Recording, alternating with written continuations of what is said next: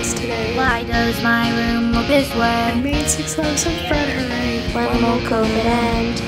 I whip coffee in a flask, but I drink it with a mask. I haven't done a homework task. When will COVID end? Binge watching Netflix shows, even ones that no one knows. Eating icing and cheese, maybe it's not so bad. I gained 10 pounds this week. My doctor is gonna freak. This my clothes are chic. When will COVID end? When will COVID end? When will COVID end? When will COVID end?